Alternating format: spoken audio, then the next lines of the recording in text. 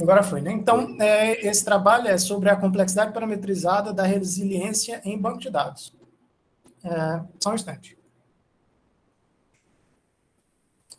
Bom, esse trabalho eu, eu desenvolvi é, em parceria com a minha orientadora, Ana Tereza, e ele vai ser apresentado nessa conferência, né? É, ICTA, que é International Colloquium Theoretical Aspects of Computation, Computing ou Computation, não lembro.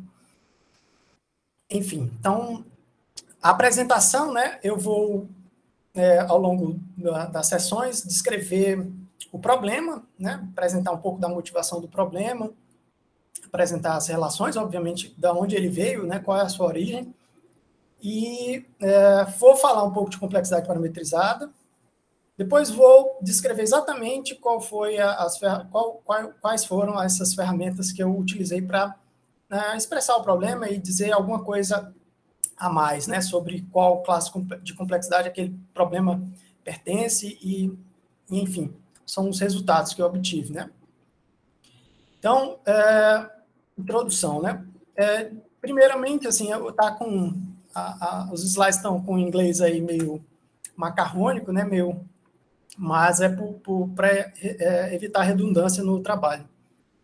Então, é, em particular, né, o problema é, que eu vou mencionar hoje, ele é o problema da resiliência, né, em banco de dados. Ele é, ele está relacionado com questões de é, o interesse em saber como o, o, como seria possível fazer análise de dados, né, é, de uma forma é, a apresentar ali justificativas e explicativas, né? E, e, explicações a respeito de determinados resultados de uma consulta, ou mesmo é, falar sobre a, é, como que mudanças, né, é, na base de dados afetam resultados de visões, por exemplo, do, do banco de dados, ou de uma consulta no banco de dados, certo? Alguns exemplos relacionados a, a, diretamente a, a, isso, né, são problemas como é, propagação da deleção, né, medida que você remove ali no, no banco de dados, como essas, é, essas deleções no banco de dados vão alterar é, eventualmente uma dupla é, que vai aparecer ou não no resultado de uma consulta, e, e explicar é, a causa de determinadas duplas aparecerem como resultado de uma consulta, né? Ou mesmo dizer é, quais, qual um conjunto de tuplas que é responsável por é, dar determinado resultado para uma consulta no banco de dados. Né?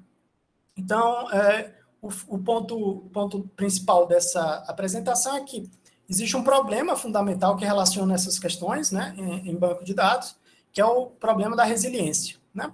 Esses resultados de, de, de transformação e equivalência entre esses problemas são apresentados na referência aqui de 2015. São dois trabalhos, certo? Então, em particular, é, se a gente abstrair aqui é, o que é de fato um banco de dados, o banco de dados é um conjunto de tabelas, né? Cada tabela ela possui é, linhas, né? Essas linhas a gente chama de tuplas e os elementos é, que estão contidos nessas tabelas a gente chama ele ele é ele é denominado ali é, conjunto ativo ou, é, acho que a tradução é essa, conjunto ativo do banco de dados, né? Então, por exemplo, você tem um banco de dados, você tem uma determinada consulta, né? Essa consulta, ela é uma consulta, no caso, que vai é, tornar é, simplesmente se é satisfeita, se é verdadeira ou não num banco de dados. Nesse caso, é um banco de dados com três relações, R1, R2 e R3, né? E eu queria determinar, é, por exemplo, aqui, se o problema da avaliação, primeiramente, né? Determinar se é possível algum, algum, alguma tupla satisfazer essa relação, né? Evidentemente, existem tuplas aqui, ou, ou, atribuições a essas variáveis que vão fazer essa consulta ser verdadeira. Bom, o problema da resiliência, então, consiste em decidir, ou melhor, em saber né, se existe um conjunto de tuplas que, removidas é, desse banco de dados né, inteiramente, vão fazer essa consulta ser falsa. Então, se essa consulta for, por exemplo, FI, eu quero saber se existe um conjunto D, né? Tal que se eu remover um conjunto de tuplas desse banco de dados, essa consulta vai ser avaliada como falsa. Certo? Ou seja, esse é o problema da resiliência. Existe, ou na verdade, o problema da resiliência é formulado como um problema de otimização. Eu quero saber qual o menor conjunto que vai fazer com que essa consulta fique falsa, né? E a, a, versão que a gente trabalha é com um problema de decisão. A gente fixa ali um determinado valor para a quantidade de, de tuplas que a gente quer remover e pergunta se existe um conjunto de tuplas que é, removidos do banco, né, vão fazer essa consulta ser falsa. Claramente, se você remover essa tabela toda do banco, né, imagine aí, você vai fazer você vai fazer essa consulta ser falsa, porque é, essa relação né, da, da, da, fórmula aqui da consulta, ela não tem como ser satisfeita, já que essa, essa tabela seria vazia. Certo? Não tem como essa, esse, esse átomo né, ser verdadeiro. Então, é, a pergunta é: existiria talvez uma, um conjunto de duplas menor do que talvez dois, que faça com que esse, essa fórmula fique falsa? Né? Esse é o problema da resiliência. Em particular, se eu conseguir. Deixa eu ver aqui, só um instante, se eu voltar aqui.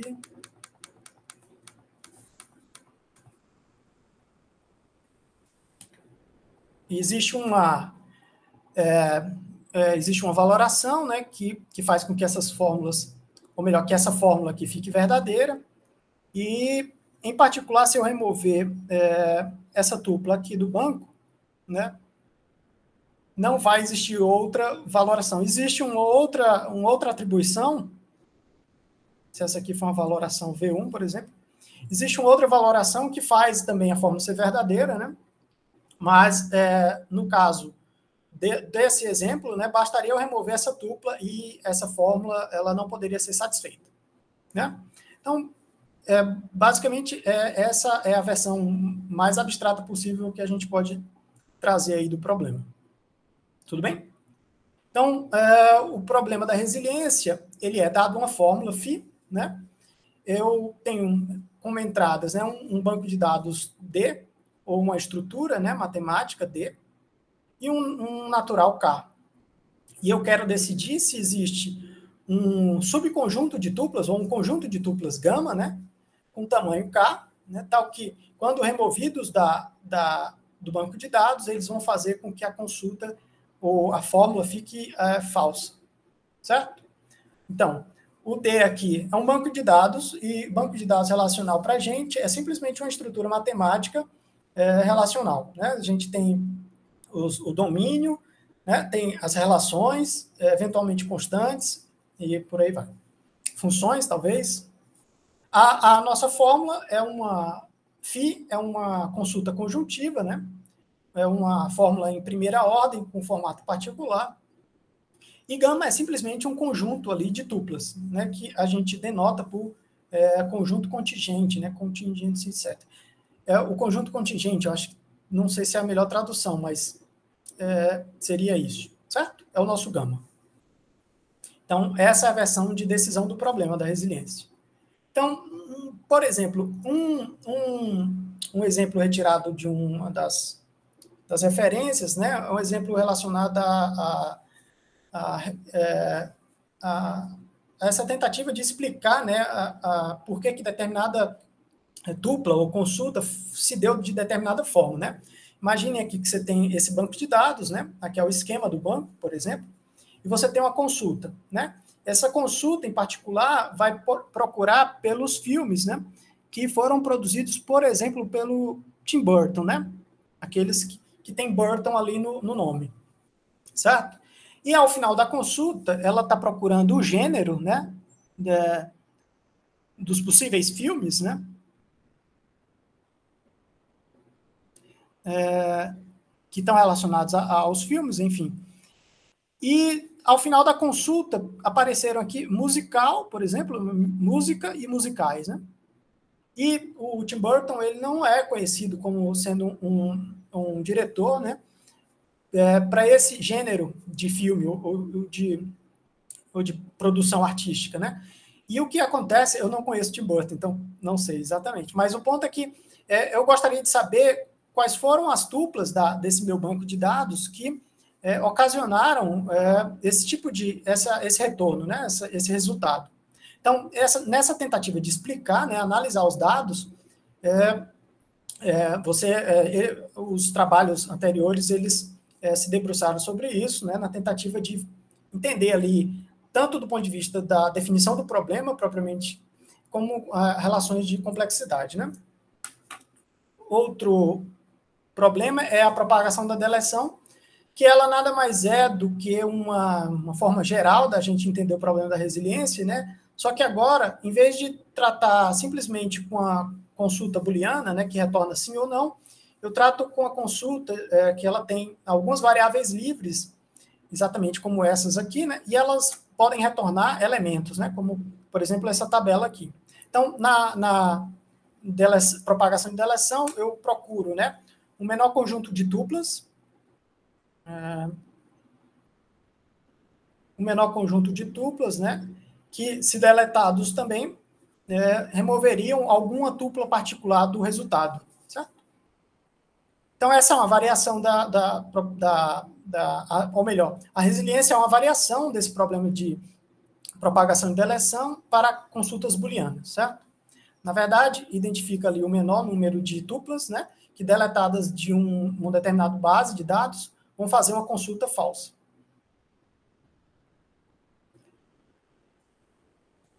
Então, é, reformulando aqui o problema, né, ou simplificando, o problema da resiliência para uma determinada consulta fixa é, phi, né, é, dada um banco de dados e um natural K, decidir se K possui um, um conjunto contingente de tamanho K, certo? Com respeito à, à fórmula phi. Bom, o que é uma consulta conjuntiva, né? É, a gente já informalmente apresentou ali no exemplo anterior, uma consulta conjuntiva é uma fórmula em primeira ordem, certo? É, que ela é composta por é, átomos, né? É, ligados é, de maneira aninhada aqui por conjunções, né? uma sequência de conjunções. Só que é, as variáveis dessas, dessas, desses átomos, eles estão quantificados existencialmente. E no final das contas, é uma consulta conjuntiva avaliada no banco de dados vai retornar um valor booleano. É, vai ser satisfeita ou não. Né? Tanto é que o nome é, é Boolean Conjunctive Queries. Né? queries. No caso das consultas gerais, elas têm variáveis livres e eventualmente retornariam ali algumas duplas, mas não é o nosso caso aqui. Então, a consulta booleana, ela lida, né, eventualmente, com um conjunto finito ali de, de ela trata, na verdade, né, utiliza conjunto finito de relações, né, de, de, símbolos relacionais, né, cada um desses símbolos com uma aridade em particular, né, a aridade sendo um, um natural. Tudo bem? E cada, é, cada elemento aqui da conjunção a gente denomina de átomo.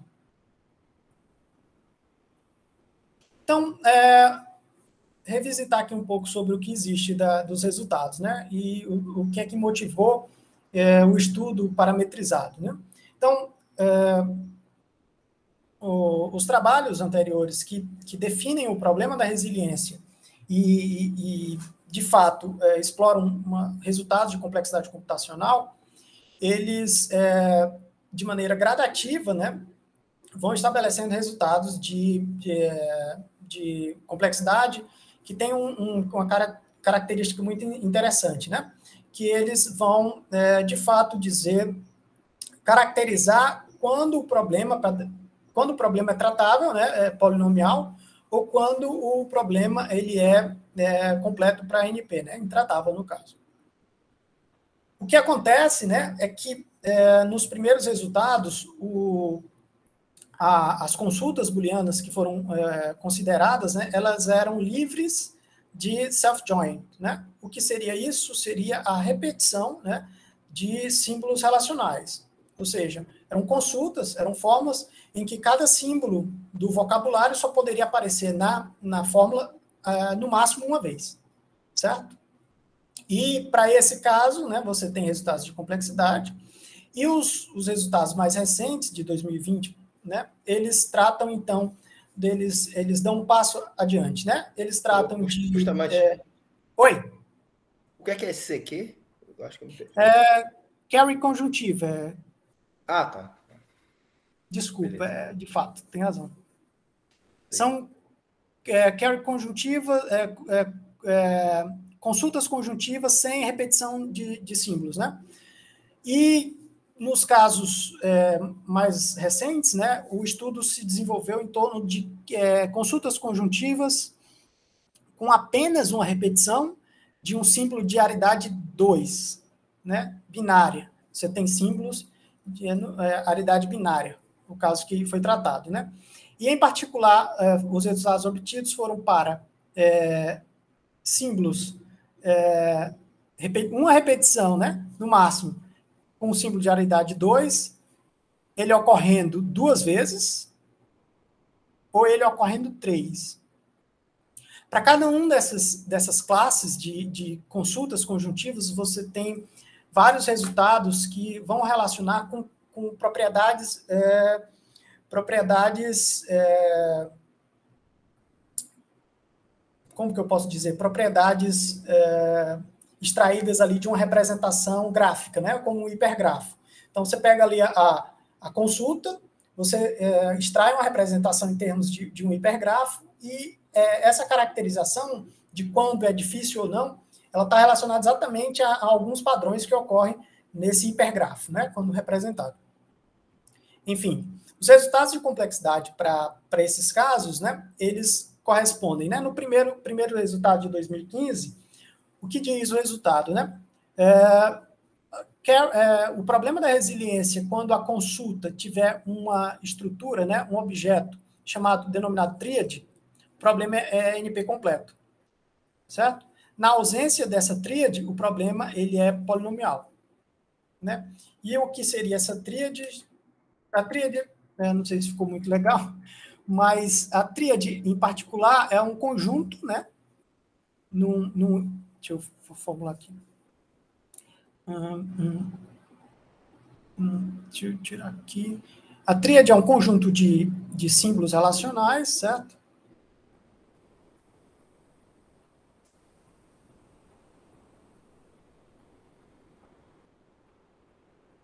De tal modo que, se eu pegar duas, dois elementos desse conjunto,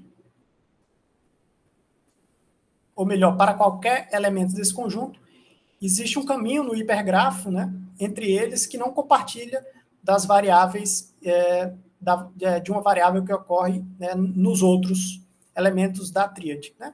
Então, um caso mais simples, ou talvez o, o mais fundamental, é essa tríade triangular, que ele chama. Né? Ela, particularmente, quando você representa em termos de hipergrafo, agora eu, eu não estou lembrado da definição precisa do, do hiper, o hipergrafo que é gerado a partir dessa, dessa, dessa consulta conjuntiva, mas, se eu não me engano, é um, é um hipergrafo dual. Ele faz ainda, é, define ainda uma outra estrutura, né, para representar essa forma. Enfim, na presença de, de algo como isso, na consulta, o, o problema da resiliência fica NP completo. É, na ausência, o problema é polinomial. No caso com ah, na presença de uma única né, repetição, de um símbolo relacional para uh, fórmulas com uh, vocabulário binário, né? E, no máximo, ou melhor, exatamente duas relações, você tem um conjunto de outros uh, elementos, aqui, aqui não estão todos, mas você tem a tríade, um caminho, uma cadeia, uma confluência, que vão caracterizar exatamente os problemas, as, o problema da resiliência que é intratável. Certo? Então, esses são é, as caracterizações. Na ausência desse, né, desses problemas, o, o, a, dessas, desses padrões, a resiliência seria tratável é, via redução para um problema de fluxo. Né? O que acontece? É, no caso é, adicional, aqui com é, é, três ocorrências né, do, do símbolo R, o que é que acontece? É, vários resultados distintos de, é, de intratabilidade são apresentados, né? mas não há exatamente a caracterização precisa né? Do, dessa distinção clara, é, dessa dicotomia né, que existe entre, entre é, tratável e não tratável. Né? Quando, à medida que você vai é, complexificando ou aumentando a, a complexidade ali da fórmula, de como você escreve a fórmula, os resultados não são, não são muito claros, né? Enfim, são esse, esses três, esses dois trabalhos que foram apresentados são trabalhos extensos até, com uma infinidade de resultados interessantes, mas é, é, é, o que eu percebi é que é, à medida que você tenta, é, de fato, é, generalizar ou entender um, um, um, caso geral em que o problema é tratável, é, esse, essa abordagem talvez, é, até onde eu consegui entender, ela fica difícil né, de você realizar. Então, é, eu fui atrás, antes disso, né, desculpa, é, você, você poderia também, antes disso, né, de falar de complexidade parametrizada, você poderia tentar estudar o problema numa versão mais geral, né? Pensar num problema em que a, a própria fórmula é dada como entrada, né? Nesse caso, se você for tentar estudar a complexidade do problema e utilizar a fórmula como entrada, esse, essa questão é uma questão que já foi tratada né, do ponto de vista de outros problemas em banco de dados, como, por exemplo, é, a avaliação em banco de dados. Né? Então, a, a, questão da avaliação em banco de dados, ela tem uma, uma distinção clara de quando você fixa a fórmula né, e quando você é, é, considera o problema da avaliação em banco de dados é, a fórmula como sendo um, um, um dado de entrada do problema. Né? E essa distinção do ponto de vista da, da complexidade, ela aparece como, é, é, como complexidade de dados, né, que é o data complexity, quando você fixa a fórmula, e o, o, o que eles chamam de complexidade combinada, ou combined complex, quando você analisa todas as entradas do problema, né? O que é, a dificuldade que causa né, nessa situação é quando você vai analisar a complexidade, cada elemento ele contribui ali com, com, com uma quantidade de, de bits, né, para, de fato, analisar o tamanho da entrada, né, e, e a, a, análise, assim, é, mais precisa ou, ou melhor, né, da, do problema, é, principalmente do ponto de vista prático, ela fica muito prejudicada, né? Porque do ponto de vista prático, o tamanho do banco de dados, em geral, ele é muito maior do que o tamanho da consulta, né? Então, em geral, você imagina, você poderia imaginar, né, a, a consulta como um, um, um, elemento à parte do, do problema em si e o, o, o a relevância do, da. Eu estou falando aqui, desculpa, num caso de outro problema, né? Avaliação de banco de dados. Mas tem claramente é, é, relação com essa, essa construção aqui, certo?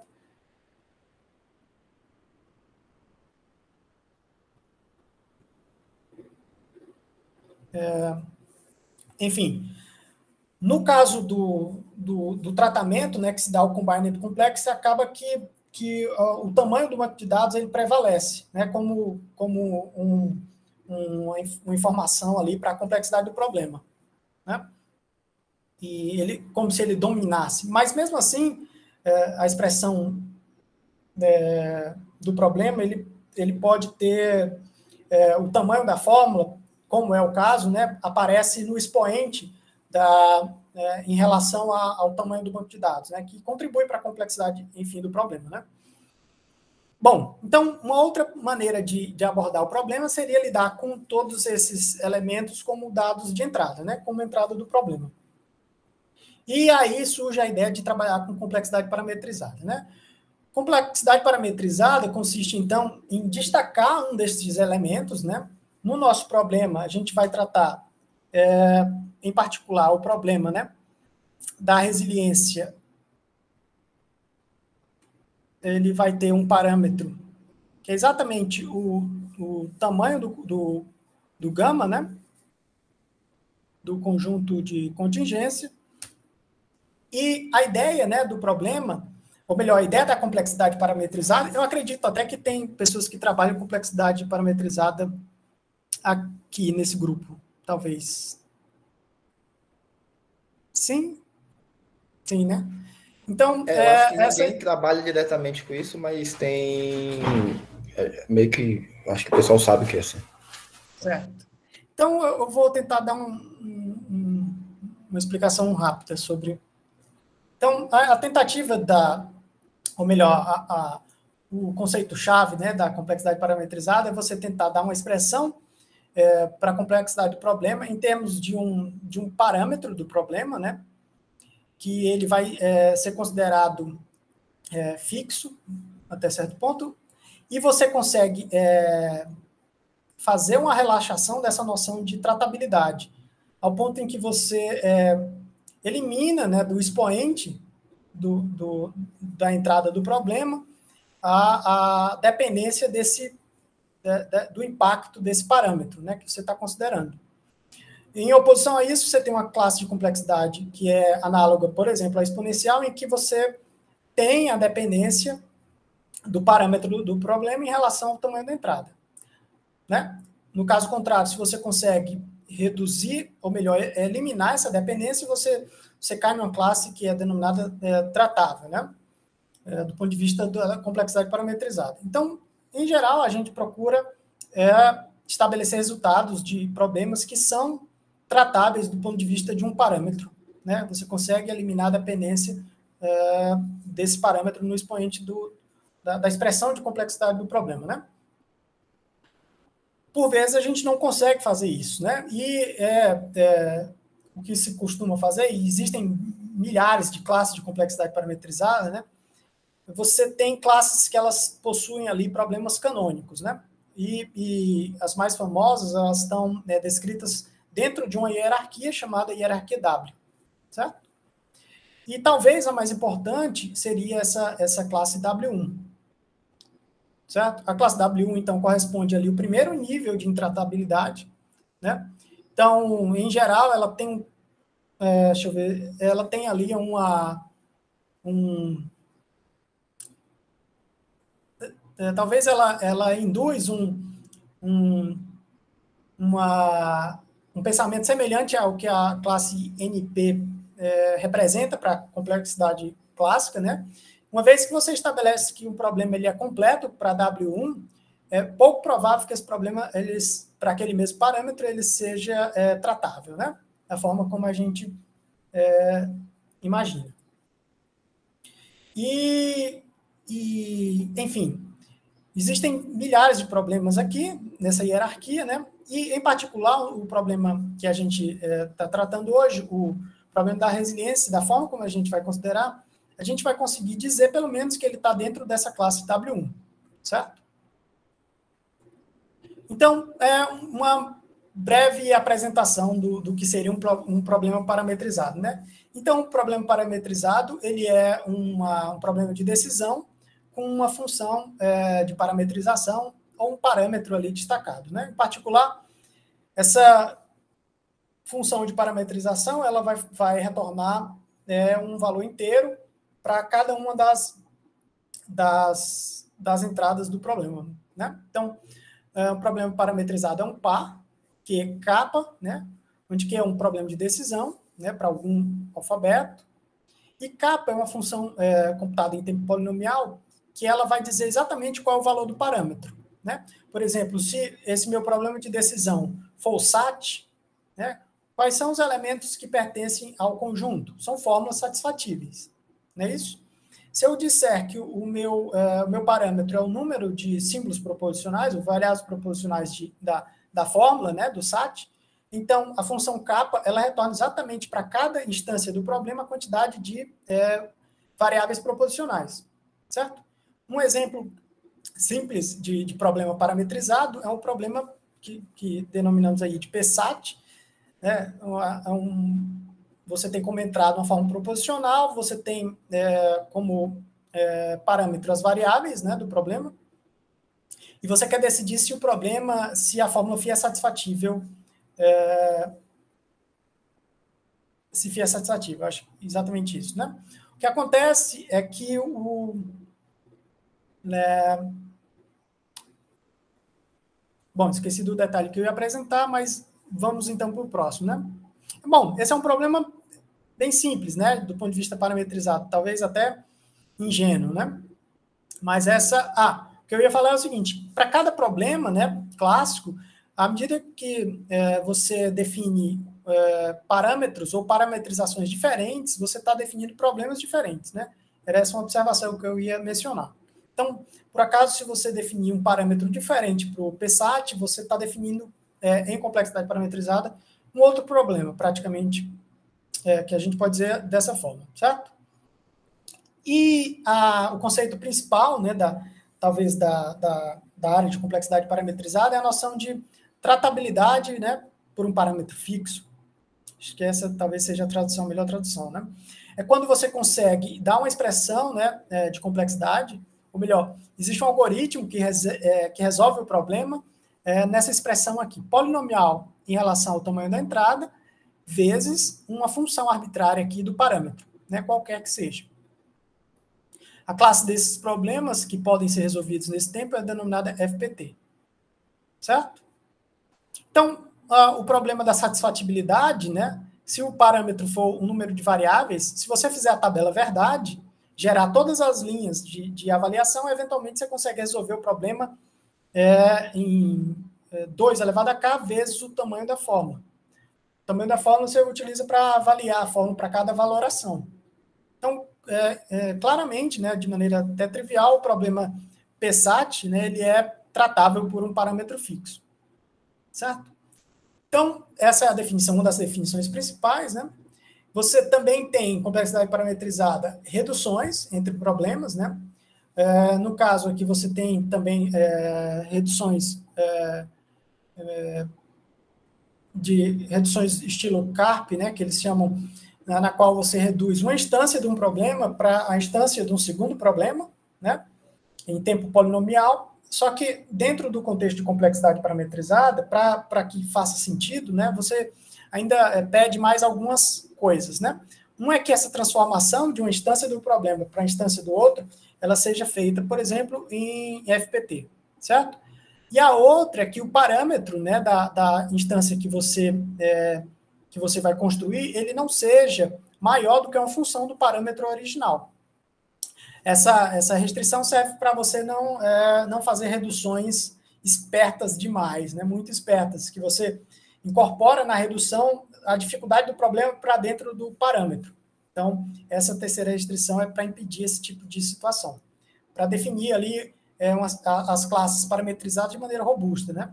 Então, você consegue, a partir de reduções desse tipo, definir classes, né, ou problemas, né, que são difíceis para determinadas classes e problemas que também são completos, né, uma vez que eles pertençam à classe e também é, todos os problemas possam ser reduzidos a ele.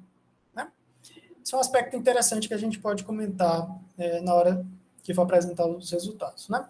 Enfim, você tem ali a, a, a classe FPT, os problemas que podem ser expressos, né, possui um algoritmo com essa complexidade, e uma série de outras classes que, é, que eventualmente não podem ter algoritmos com, esse, com essa expressão. Né? Então, é, a classe W1, sendo ela é, a, a, classe representativa ali dos problemas intratáveis, né, ela tem uma característica interessante, que ela é definida por alguns problemas canônicos, né, no sentido em que é, por exemplo, para eu dizer que um problema, a definição dela não é uma definição através, existem, mas não é a definição mais é, usual né, e, e, útil, não é através de, de, de, uma máquina de Turing, ou existem, mas não é. Né? As definições mais práticas e, e utilizadas são definições por meio de um problema canônico. Né? Então, para você, por exemplo, provar que um problema está dentro da classe W1, você apresenta uma redução, né? É, do problema que você quer provar que ele está em W1 para esse problema canônico. O ponto-chave é que essa classe W1 ela é fechada para reduções FPT. E se você conseguir esse tipo de redução, de redução você está provando que o problema de fato está em FPT. Né? A definição que a gente utiliza aqui para a classe né, é a classe dos problemas que podem ser reduzidos é, por uma redução FPT, né, para o problema da é, definibilidade com, com ponderada, né, com peso, né, para uma fórmula de primeira ordem universal, certo? Essa fórmula de primeira ordem universal, da forma como a gente é, representa, ela possui uma variável de segunda ordem, né? Uma variável de segunda ordem, ela sendo interpretada, ela vai representar um conjunto, né? É, na verdade, um conjunto se fosse uma relação monádica, mas vai, vai representar uma relação de qualquer idade. Certo? E aí, é, essa variável x é exatamente, ela tem exatamente uma aridade S. E a gente define o problema da define, é, weighted definability, né, como sendo é, para uma determinada fórmula phi, eu tenho como, como entradas é uma estrutura, um natural, o parâmetro é o, o natural k, e, e, o ponto é decidir se existe uma interpretação S, né, para a variável x da fórmula, que faz com que a fórmula, né, seja verdadeira na, na estrutura dada como entrada, certo? E o S em particular, ele tem é, K elementos. Né? Então, deixa eu repetir aqui. É, a entrada é uma estrutura, você tem também como entrada o natural, né, o parâmetro, o parâmetro da, do problema é exatamente o natural, que é, tá relacionado com o tamanho da a quantidade de elementos da, da solução. Né? Então, o problema é decidir se existe uma interpretação da, da, da, da, da variável x, né? que, vai, é, que tem k elementos e faz a estrutura ser verdadeira para aquela fórmula em particular. Certo? Então, esse problema é, canônico que a gente utiliza aqui, ele é, é o problema que, é, que eu utilizo para trabalhar o problema da resiliência do ponto de vista parametrizado, certo? Eu, é, como resultado, né, eu vou mostrar aqui que uma versão né, do problema da resiliência ele é ele pertence à classe W1, fazendo uma redução FPT, né, para em particular para um problema de weight definability. Certo? Enfim, então é uma tentativa aqui de, na verdade, um, a maneira como a gente consegue provar, né, construir essa prova. Então, é, agora tem uma parte mais técnica. Talvez é, é, eu vou perguntar aqui. Tudo bem, pessoal? Alguma dúvida? Tudo tranquilo? Posso continuar? O Qualquer tá dúvida? Então, vou continuar. Essa parte agora, ela vai... É, ela vai... Ela tem um pouco mais de, de coisa de lógica. Oi? Nada, né? Então, essa parte tem um pouquinho mais de, de um tratamento de, de lógica, mas é, manipulação do, de de, de simplesmente manipulação de algumas de alguns conectivos, né? Então, o que a gente vai fazer, né? É, o objetivo, então, é, do ponto de vista da, do problema da contingência, né? ou melhor, da resiliência, desculpe, é expressar o problema, o conjunto contingente, né? em termos de uma fórmula, é, de uma fórmula phi, né? como essa, de tal modo que é, eu consiga também representar a, o meu banco de dados em termos de uma estrutura A e, e, e, e concluir, na verdade, que a fórmula phi que, que eu construí ela vai ser satisfeita naquela representação do banco de dados A quando é, existir, de fato, um conjunto S, né, que interpretado pela variável x, faz a fórmula ser verdadeira. E, em particular, esse conjunto S é exatamente o, na nossa redução, exatamente o, o, a, o conjunto contingente. Certo? Tudo bem? Então, é, então o que, é que a gente precisa fazer? Né? É, Para expressar o problema né, da resiliência e dizer que existe um, sub, um conjunto de tuplas que, após removidas do banco, é, eu vou fazer a consulta ser falsa, né? é, eu vou construir uma outra estrutura que vai é, ter como é, elementos agora as tuplas do banco de dados, para que eu possa, né, de fato, falar sobre a existência de, um, de uma quantidade de tuplas. Né? Existem tuplas. Então, essa quantificação existencial, para ser feita em termos das tuplas, eu preciso fazer uma pequena transformação na estrutura. é o mesmo que a gente faz é, em relação a grafos. Né? Se você tem um grafo e você quer também é, expressar propriedades em termos das relações, uma coisa que você pode fazer é representar o grafo em termos da sua, do seu hipergrafo. E assim você pode expressar propriedades que falem ali da, das relações, ou melhor, das arestas. Né? Então, nós queremos expressar o conjunto contingente em termos de, das ferramentas lógicas, né? para caracterizar instâncias positivas do problema da resiliência. Então, o que a gente vai fazer né, é considerar tuplas como elementos ou objetos da estrutura. Né? Então, a gente vai é, construir elementos que vão representar as tuplas das relações do banco. Então, a gente vai usar uma, uma estrutura auxiliar, que a gente chama de banco de dados estendido, por, por, por eu não ter encontrado outro nome, mas é, o que de fato vai acontecer é que cada é, elemento do, do, banco de dados vai continuar sendo elemento desse banco de dados estendido, só que, além disso, eu vou é, adicionar as tuplas do banco de dados né, a esse banco de dados estendido como elementos do domínio. Certo? As, as tabelas do banco de dados, né, elas vão ser é, representadas como relações monádicas nessa estrutura estendida certo? Nesse banco de dados estendido. Bom. É... Desculpa a pergunta besta. É, o que, é que são relações monádicas?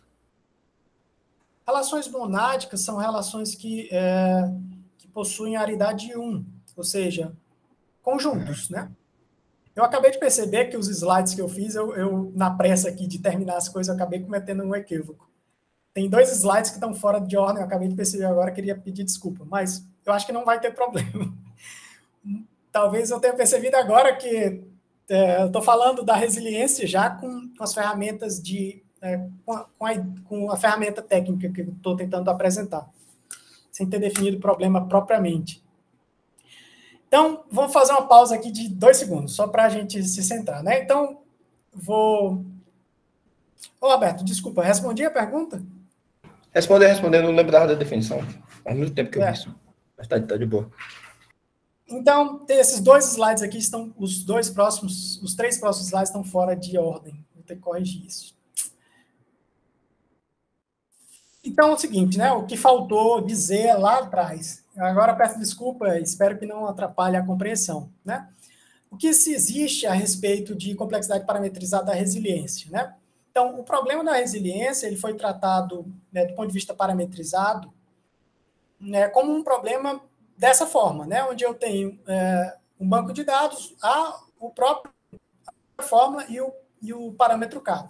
Né? Para esse, para essa versão do problema, você, a gente tem algumas respostas, né? é, isso aqui realmente está tá, tá errado. Desculpa, pessoal. O que acontece, né? Esse problema, é, considerando como entrada, né? É, as três coisas, ele tá, ele é pertence a, ele é completo para a classe complementar em W1, certo? Esses dois artigos de 2017 e de 2020, né, eles apresentam aí os resultados para é, expressar exatamente é, esse resultado aqui, certo? Em que é, é possível é, fazer uma redução do problema para o problema de satisfatibilidade, né, é, com pesos. E também tem uma outra redução que, que leva o problema do clique, né, da, do clique de, de do K-clique para um K fixo, na verdade K como parâmetro, e reduzir para o problema da resiliência nesse formato, né? Então, o que eu fiz foi tentar é, é, dar um passo para trás e tentar analisar o problema é, do ponto de vista da, da, da data complexity, né? onde a fórmula é fixa. Né? É, o que é que acontece? Aqui, é, a, a, minha esperança, a minha expectativa inicial era conseguir, de fato, é, fixando a fórmula, conseguir mostrar que esse problema seria tratável as primeiras tentativas foi exatamente no sentido de apresentar um algoritmo que, que, é, que fosse é, FPT para esse problema com a consulta fixa. Eu não consegui, né? E o que eu consegui, o que eu consegui mostrar foi exatamente a redução que eu estava explicando anteriormente, né? Vou ter que corrigir isso aqui. Então, é, voltando para a redução, né? Eu, vou, eu tenho um banco de dados, né? Que é exatamente um conjunto de elementos e um conjunto de tabelas, né? Os elementos desse banco de dados é denominado domínio ativo, né? Ou simplesmente o universo, né, desse banco de dados. E cada tabela, né, do banco de dados é, é, é apresentada como uma relação é, nessa estrutura, né?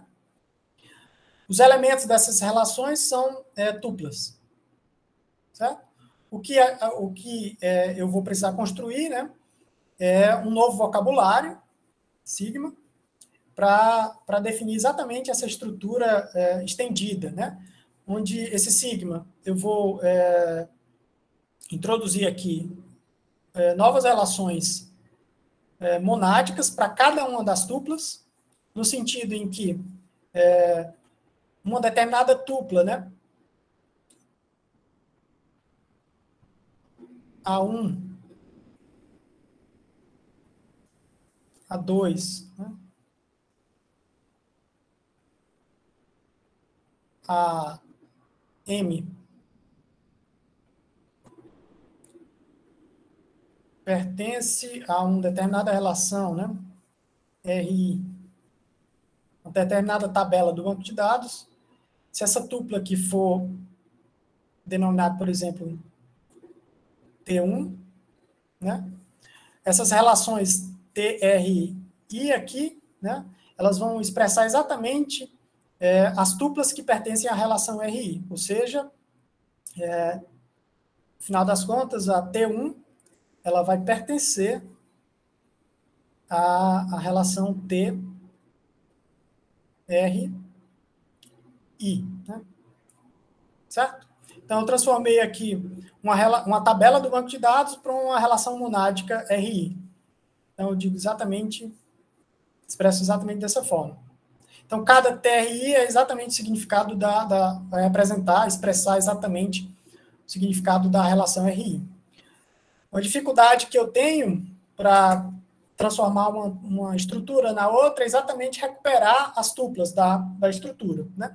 Eu poderia simplesmente só definir essa relação monádica aqui, mas se eu quiser saber quais são os elementos que pertencem a essa tupla, é, só com essa relação eu não conseguiria. Então, para recuperar isso, eu preciso definir uma relação de incidência, que é uma relação aqui ternária, né?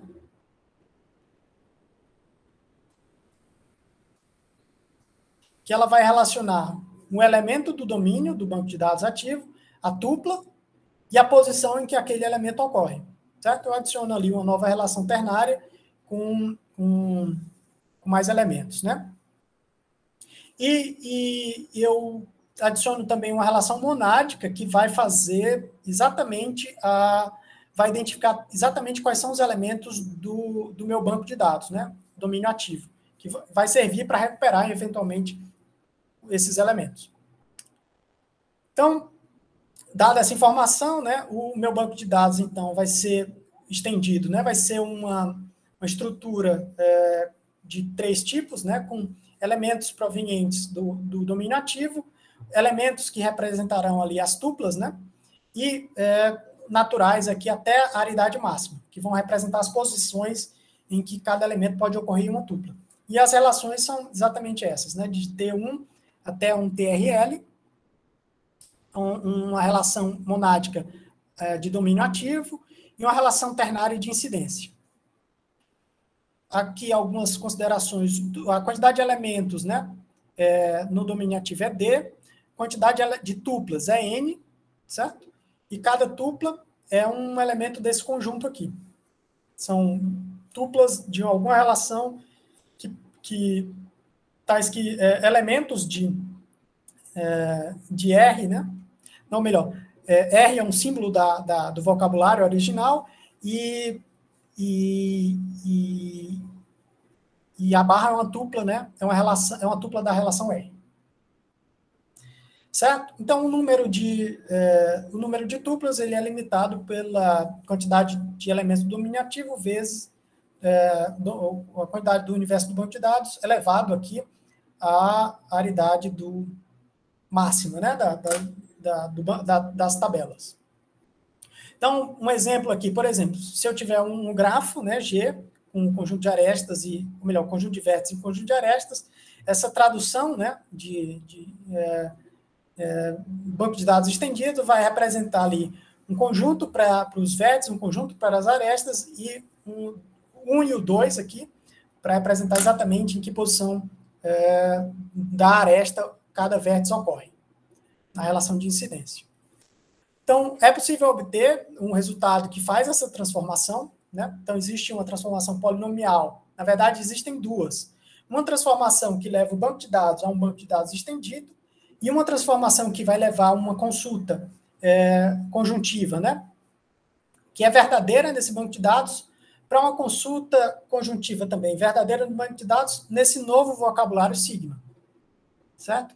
Então, é possível apresentar duas transformações exatamente é, descrevendo é, isso que eu falei aqui, né? É, que, que satisfaz essa propriedade, certo? Um exemplo é, que a gente pode fazer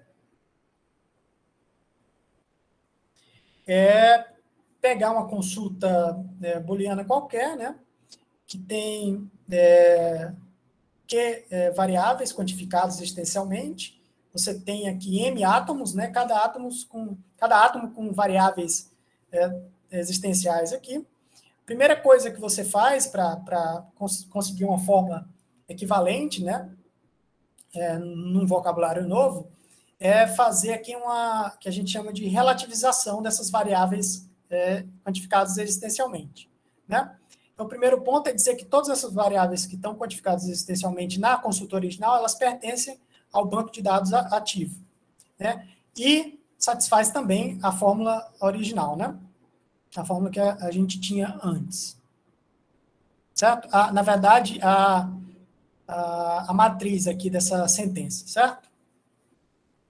E aí, uma sequência de passos é, vão permitir é, definir uma fórmula equivalente, né, ou melhor, satisfeita também nesse banco de dados estendido, no vocabulário novo. Né? Então, a partir daí, a gente transforma é, cada relação RI que ocorrer numa relação dessa forma, né? ou seja, existe uma dupla né, pertencente a, a, a uma relação monádica RI, e para todos os elementos da dupla, né, é, vai existir algum X, né, XP, numa posição P em particular, que vai estar naquela dupla YJ.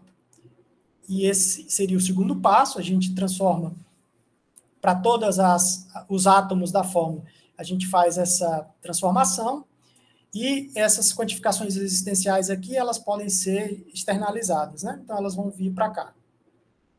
Certo?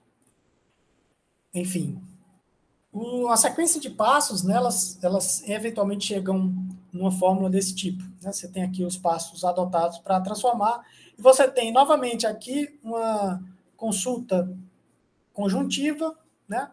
Que vai dizer exatamente a mesma coisa que a consulta dizia, só que agora essa consulta conjuntiva ela tá, ela utiliza um vocabulário dentro desse é, dessa estrutura, esse banco de dados estendido, certo?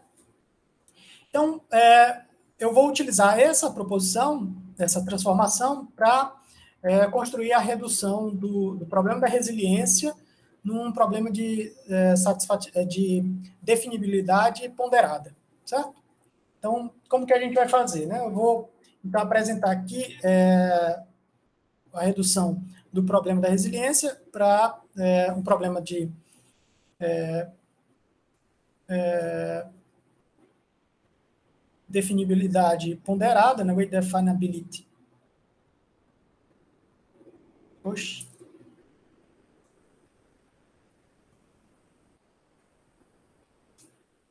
Para uma fórmula, para uma fórmula PC, por exemplo, né?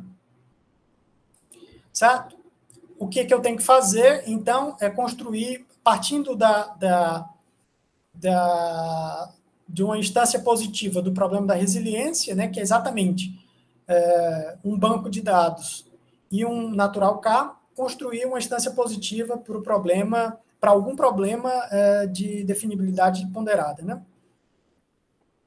Então, é, em particular, se você considerar a mesma transformação que eu acabei de apresentar, né, você é, imagina que uma instância positiva do problema da resiliência, ela, no banco de dados, né, sem retirar o, o, conjunto contingente, sem retirar tuplas do banco, essa é, fórmula ela é satisfeita no banco, né? ou seja, é satisfeita na estrutura. Então, você tem uma fórmula conjuntiva, né, dada dessa forma, e é, ela é satisfeita no, no banco de dados relacional, né? Então, o, é, agora, né, partindo, então, é, desse fato, que a, a própria é, FIA aqui, né, ela é satisfeita é, nesse banco de dados, né?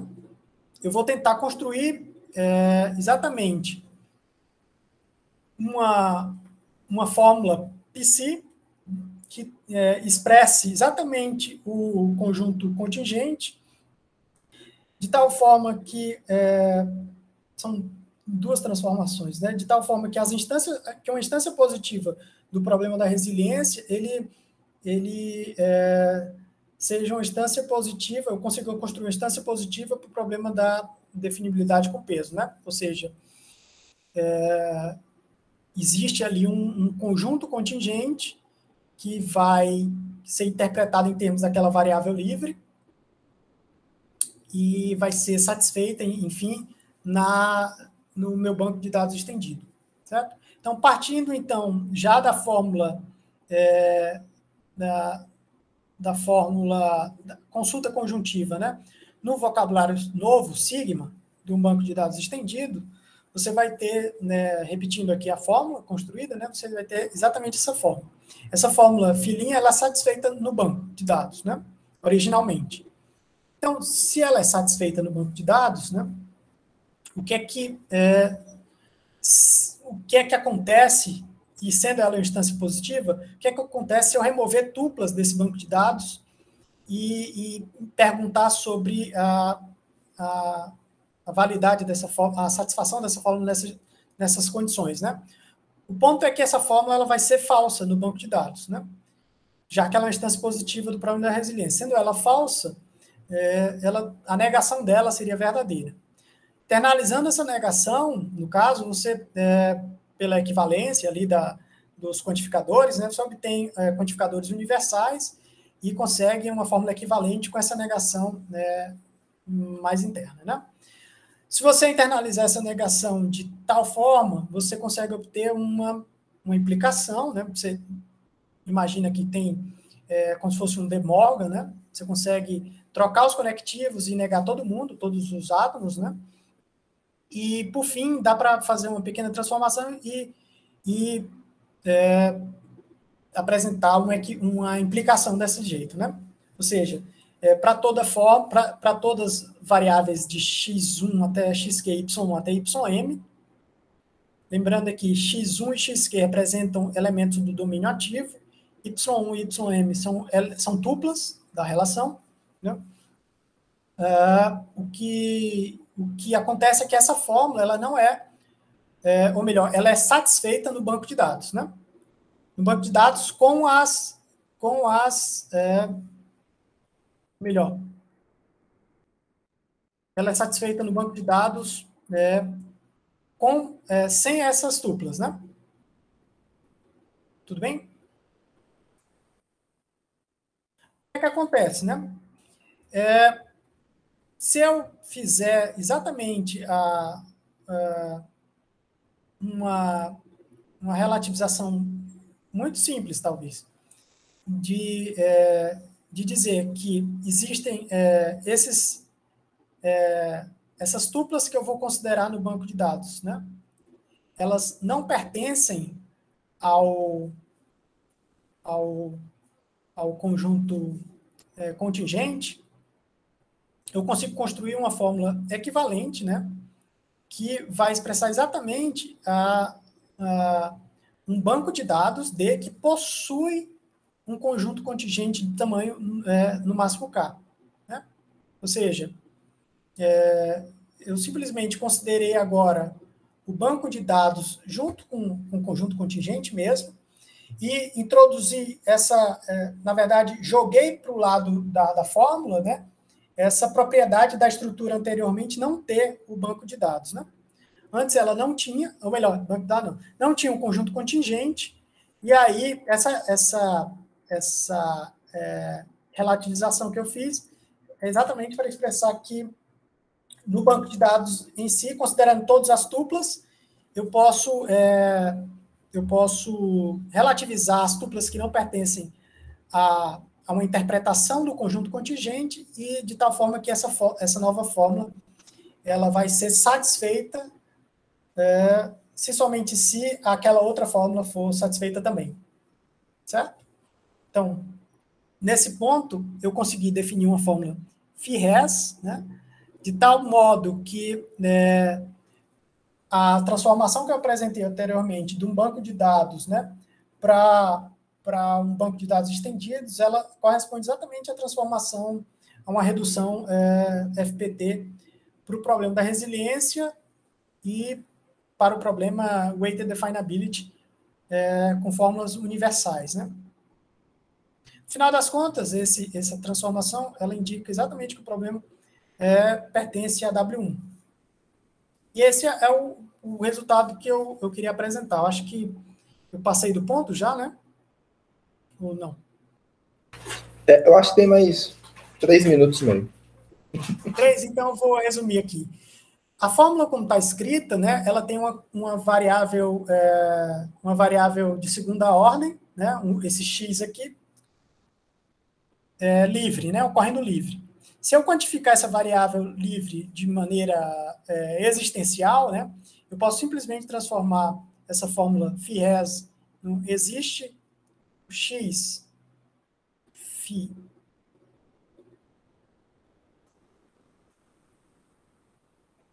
x, né?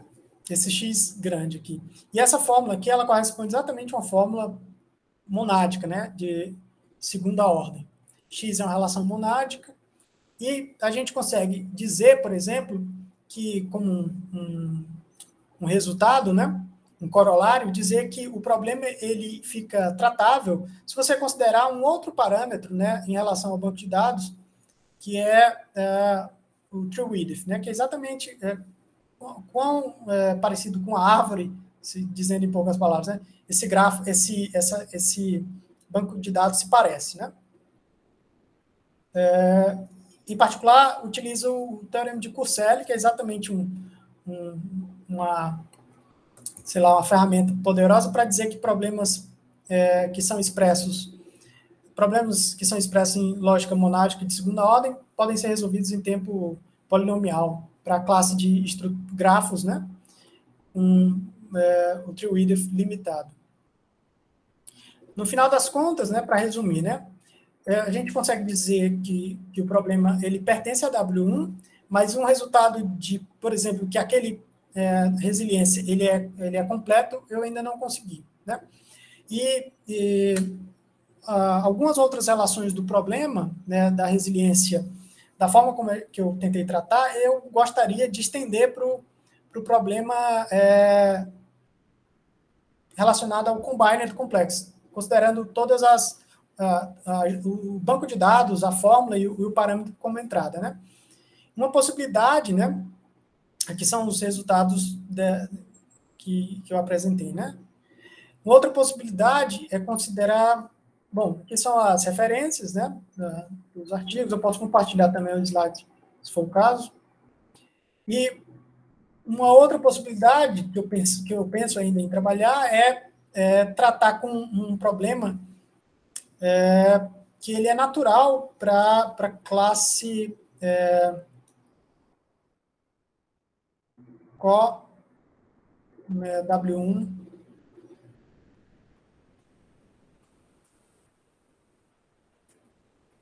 até certo ponto ele é natural. A maioria dos problemas que são completos para W1 ou pertencem a W1, eles, eles são é, complementos de, ou melhor, problemas que pertencem ao complemento de W1, eles são dados de, de uma maneira artificial, né? Você é, diz que é o complemento de um problema que já está em W1. Por exemplo, o clique, né? K-clique. Você define como complemento do clique, enfim. É um, um problema que pertence a qual W1. E esse problema de, é, de deleção de vértices, né? Vértices, ele é um problema natural em, no complemento. Então, uma das coisas que eu me questiono e, e me pergunto, né? É como é, analisar esse problema. Eu não sei se já foi feito em termos de um parâmetro desse, desse, desse subgrafo aqui, né? Desse, vértice, desse conjunto de vértices aqui, desse subgrafo H. Né? Enfim, o problema, só para resumir, é decidir se existe, né? se é possível remover é, K vértices de G, tal que o grafo resultante né, não tenha um subgrafo isomórfico H. Então, por que isso? Né? É, essa noção de, de, é, de é, consulta conjuntiva e subgrafo no banco de dados, ela, ela, ela, ela pode ser obtida, ela tem uma correspondência, né? Procurar um subgrafo que satisfaça uma determinada consulta, né, conjuntiva, é exatamente o caso do conjunto resiliente. Se, se eu tiro aquele é, conjunto contingente, se eu tiro o conjunto contingente, aquela fórmula passa a não valer mais, não é isso? Então, é, eu penso, em, eu já procurei, selecionei algum material para ler, que exatamente é, o estado do, do problema quando o, você tem algum parâmetro relacionado a esse, esse subgrafo aqui. É, enfim, esses são caminhos que eu penso ainda, é, quando tiver tempo, estudar um pouco. É isso. Basicamente é isso.